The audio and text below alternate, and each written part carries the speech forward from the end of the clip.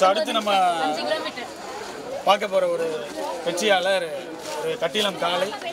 அறிஞர் அண்ணா அரசு கலைக்கல்லூரியிலே முதுகலை தமிழ் படிக்கிற ஒரு மாணவர் இந்த மராத்தான் போட்டியினுடைய தொடக்கத்தை இவர் தான் தொடங்கி வைத்தார்.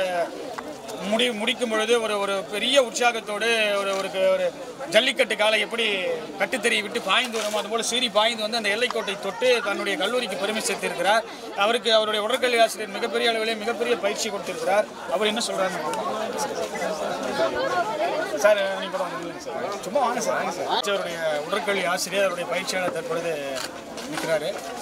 சார் சொல்லுங்கள் சார் எப்படி மராத்தான் இருந்தது. அதை எப்படி நீங்கள் ஃபீல் பண்ணுறீங்க என்ன மாதிரி இதை நீங்கள் எடுத்துக்கிட்டீங்க எனக்கு நல்ல எக்ஸ்பீரியன்ஸ் சார் நான் எதிர்பார்த்த அளவுக்கு சார் காம்படிஷன் ஆனால் நல்லா இருந்துச்சு.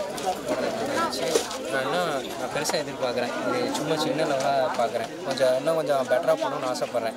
ட்ரைனிங் கொஞ்சம் ரெகுலராக பண்ணுறது இல்லை பட் ட்ரைனிங் கொஞ்சம் ரெகுலராக பண்ணால் இன்னும் என்னால் பெட்டராக பண்ண முடியும்னு தோணுது. ரொம்ப அழகாக யதார்த்தமாக அவருடைய எண்ணத்தை பதிவு செஞ்சிருக்கிறாரு. இன்னும் இன்னும் கூட கடுமையான ஒரு போட்டியை நான் எதிர்பார்த்தேன். ஆனால் அந்த சற்று சற்று கொஞ்சம் ஏமாற்றம் அடைந்தேன்.